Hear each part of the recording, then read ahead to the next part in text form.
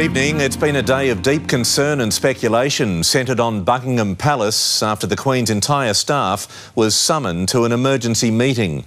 These are live pictures of the royal residence in central London. It was from here that rumours ricocheted around the world about the well-being of Prince Philip. Hello, I'm Paul Barry. Welcome to Media Watch. And what agony it was for monarchists last Thursday afternoon after Britain's Daily Mail published this exclusive about an emergency meeting at Buckingham Palace, supposedly called for 3 a.m. London time, which, as the deadline approached and Britain slept, set off a frenzy of rumour and speculation in Australia. Good afternoon. We'll start with a story that is gripping the world right now. First, to growing speculation, the Buckingham Palace will make an announcement in the next few hours.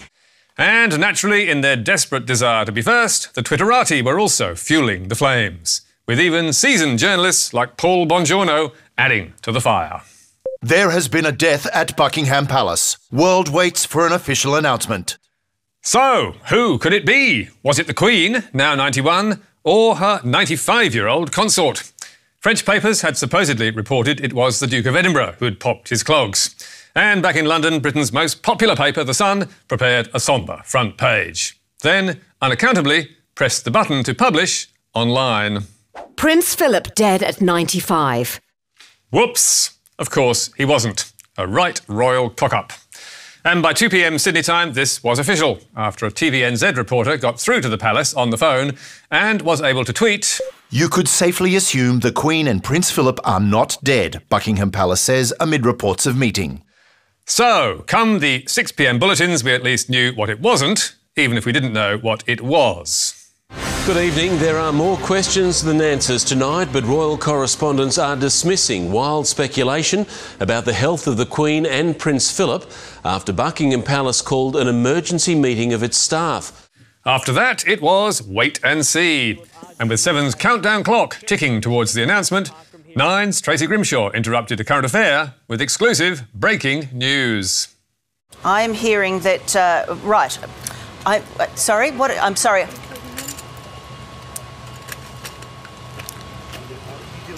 Okay, Michael, I am hearing that there is a royal announcement, there has been an announcement that the Queen is stepping down from public life. Which that and that is very significant. Now, um, have we got uh, someone is in my ear? Is have we got confirmation of that, or is that speculation? We have confirmation. I think it's Prince. Philip. We have Philip. confirmation of a statement from the palace. Do you have Prince Philip is stepping down from public life? Yes. Well, I'm just reading that now. Whoops again in the rush to be first. Standing down, Prince Philip was asked. I can no longer stand up, the 95 year old replied. And next day there were more jokes being made on his behalf. Keep calm and carry on. One is not dead. You're all dead wrong. One is simply retiring. But now to the real media news of the week, which involves trouble at Fairfax and the possible breakup of Australia's second largest newspaper group.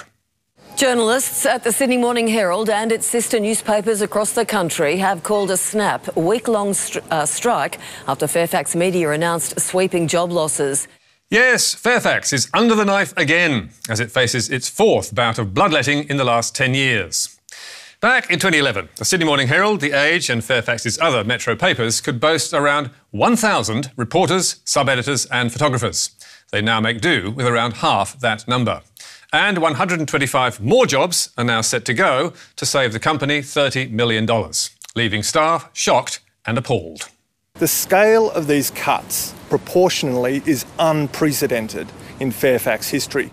Meanwhile, former Sunday Age columnist Jill Stark tweeted There is simply no more fat to cut. These are not cost savings. This is a proud masthead being slowly killed by appalling management. In 2009, Fairfax took up six floors of the Age building. Now the entire staff is on one floor.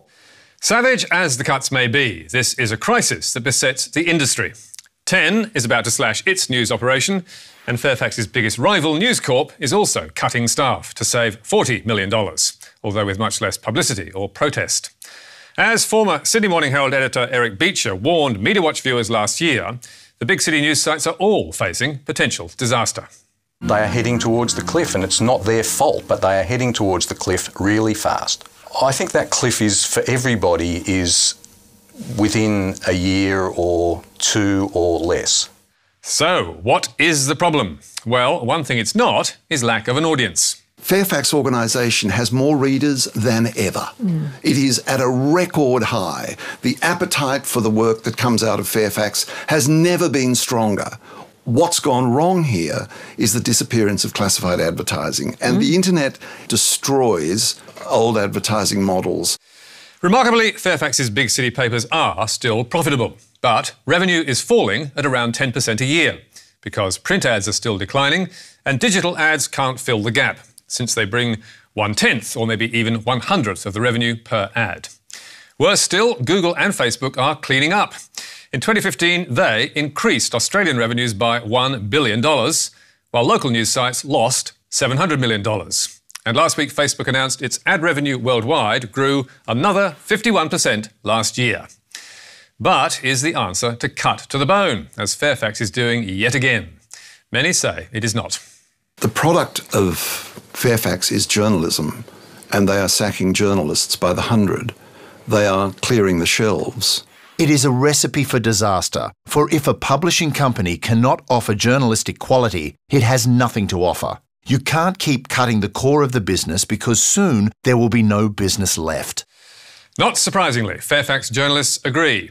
But Fairfax CEO Greg Hywood says cuts are essential to secure the future of the big city mastheads. What we are doing is that we are making sure that our publications are profitable. And by profitable, that means sustainable. If they are not profitable, they become vulnerable, seriously vulnerable. It's hard to argue with that. But it's worth noting that Fairfax top executives are not sharing the pain. In fact, they are set to gain. Greg Hywood, Corporate Counsel Gail Hambly, and CFO David Housego have, between them, been awarded 48 million share options in the last three years, worth around $14 million. And as Fairfax's share price rises, more millions come their way. Maserati driving Hywood recently cashed in some of his for $5.4 million and picked up a bonus of $2.5 million, which could employ 16 journalists for a year. So, he and his team have an incentive to cut as former Fairfax business editor Michael West told the ABC. You've got the journalists and you've got management, and their um, situations are entirely at loggerheads because management want the share price to go up so their, so their share options rise and they become more wealthy. So, what does the future hold? Well, Hywood said only three months ago that Fairfax will always need great journalism to drive traffic to real estate site Domain and other new businesses that are growing or more profitable. I mean, we wouldn't have those very large audiences unless we put out fabulous journalism. So it is a virtuous loop here we're talking about. The great journalism providing the great audiences and those audiences being instrumental in driving new businesses. Those words sound a little hollow today.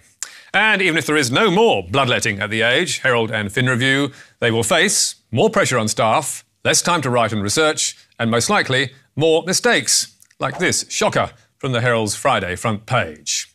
Meanwhile, some important stories from the arts, courts, councils, health, and science will likely not get covered. And that is not all.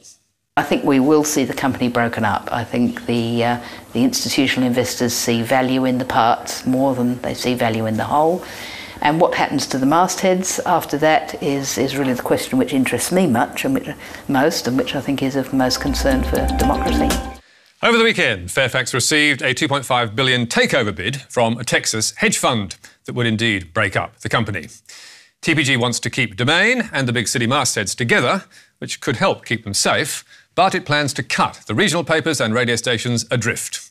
We doubt shareholders will approve, not least because it values Domain at around a quarter of its rival, REA, which is owned by News Corp.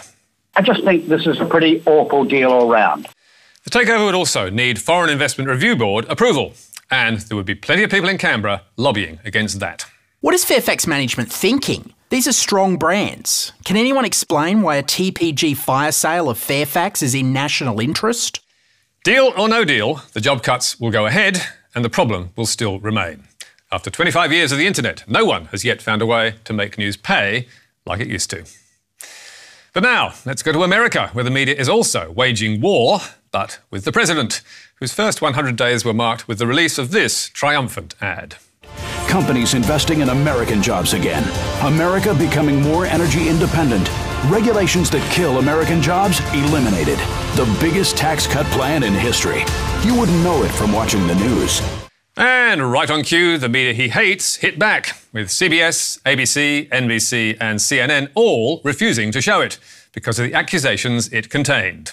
The mainstream media is not fake news, and therefore the ad is false.